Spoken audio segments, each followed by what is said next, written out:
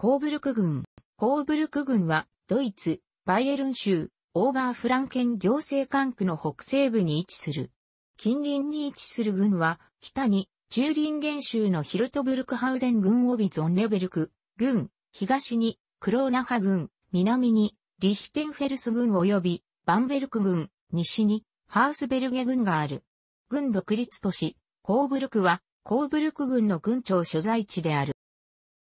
北西部の郡境は、主に農地として利用されている、緩やかな起伏の高原、海抜300-500メートルからなる。郡の北部は、中林原の森の山麓部に属し、すでに中引く山地の様相を呈している。ここでは広大な紅葉樹林の中に開墾地が点在している。この両者の間に石灰質のランゲ山地があり、そのわずかな工作地を針葉樹林が覆っている。南部はフランケン地方一イコールヒュー、海抜250-300メートルに属するリアスキの赤色泥街道の土地が広がっている。コーブルク郡の工業化は極めて早い時期に起こった。コーブルクはバイエルンで最も古い工業地域の一つである。今日でもコーブルク周辺地域は、ドイツで最も眼見な工業地域であり、人口1000人あたりの工業従事者数は280人、特に中小企業での生産が多い。産業構造は、特に古くからの工業が主である。この他に電子技術産業もある。ドイツの再統一後は周辺地域振興策が廃止され、EU の東方への拡大や経済危機に対抗する強化策として産業の構造変化が起こり、多くの職場や企業が犠牲となった。こうした経過の結果、失業率は1980年代には約3%であったのが、2003年11月には10.5%に悪化した。ベラ鉄道会社がザクセンコーブルクゴータ広告を事業共同社として開業したのは1858年で、最初の路線ベラ線はアイゼナハからマイニンゲン、アイスフェルトを経由してコールクまでを結んでいた。2番目の路線は北に伸びてコーブルクとゾンネベルクとを結んだ。リヒテンフェルスへの路線はバイエルン王国と共同で1859年に建造された。1892年に最初のローカル路線としてコーブルク、バートローダッフ派が開通した。この他の近距離鉄道としてプロイセン国立鉄道があった。1900年にクライトリッツで分岐してロサッハへ行くイッツグルント線が1901年にエーバースドルフで分岐してバイトハウンへ行くシュタイナハタール線がそれぞれ開通した。これらは1920年にドイツ帝国鉄道としてノイシュタットでコーブルクゾンレベルク線に接続する環状線となった。バイエルン国立鉄道が1913年に開設したバンベルクディエタースドルフ路線はゼスラハ及び軍西部の自治体を通っている。全長 105km あった鉄道網、このうち 18km はコーブルク市内のうち現在旅客輸送を行っているのはわずか半分である。廃止された路線は以下の通り。鉄道交通は現在ではさほど重要ではない。特にベラ鉄道はもはや東西を結んでいない。コーブルクの道路交通も現在の接続状況は良くない。ドイツ統一の1990年までこの地域を通過する交通はほとんどなかった。道路交通はニュルンベルク地域とチューリンゲンとの間の南北軸を結ぶ連邦道路 B4 とシュバインフルトとチェコの東西軸を結ぶ B303 とがある。現在、ドイツ統一交通プロジェクトの枠組みで、連邦アウトバーン A73 ニュルンベルク、リヒテンフェルス線をコーブルク経由でツールまで延長する計画や、ミュンヘン・ベルリン間のアイスの一部となるニュルンベルク、エアフルト間の高速鉄道路線の建設プロジェクトが進行している。アウトバーンはコーブルクアイスフェレルト間がすでに開通しており、2008年には通り抜けられるようになる予定である。財政上の問題から全線完成の時期については明らかにされていない。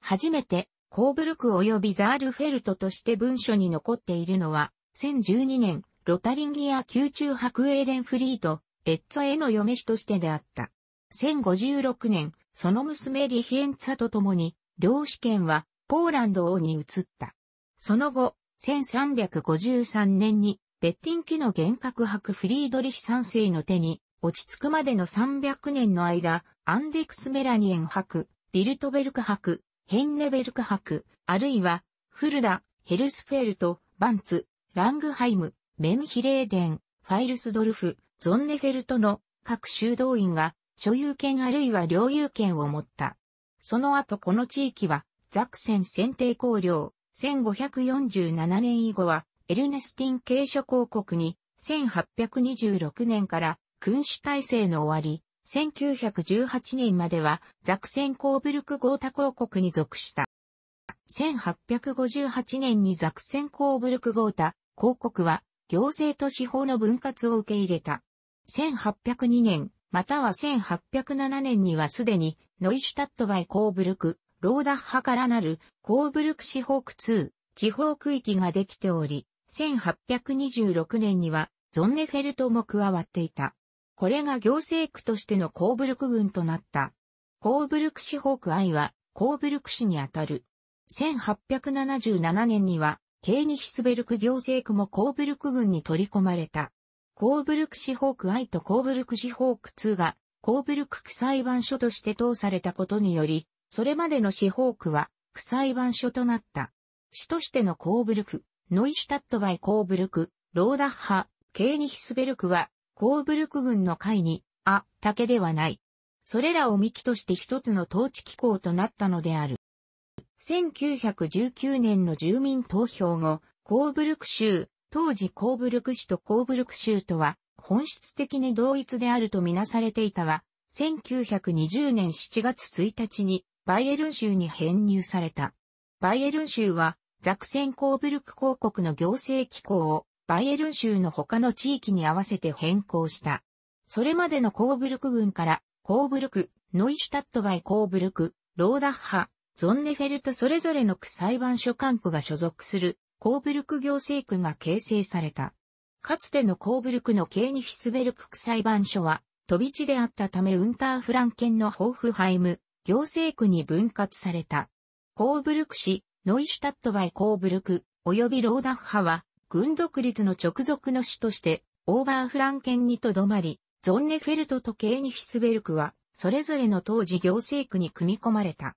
1921年コーブルク、ノイシュタットバイコーブルク、ローダッハ、ゾンネフェルト及び、ケーニヒスベルクの区裁判所管区は、コーブルク地方裁判所管区に通されることとなった。これにより、1925年あるいは1929年には、ケーニフィスベルク及びゾンネフェルト区裁判所に管理が行き届くようになった。1939年にコーブルク行政区は再びコーブルク郡となった。1940年にノイシュタットバイコーブルクとローダッハはコーブルク郡に編入された。ノイシュタットについては1946年に元の状態に戻された。コーブルクは軍独立市として残された。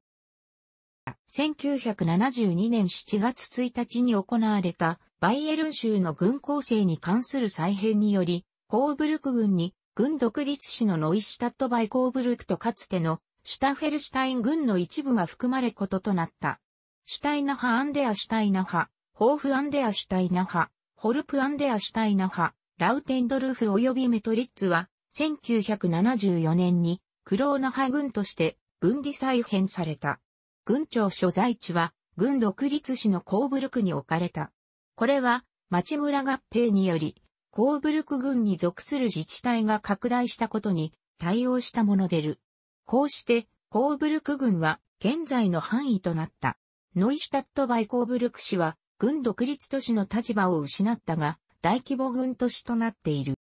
1960年代にはこの軍の地域には129の自治体があったが、1978年5月10日の市町村合併の確定期限日には51自治体となった。現在は17の市と自治体で構成されている。コーブルク周辺地域は6世紀までにが入植し、民族大移動の時代にフランク族に征服された。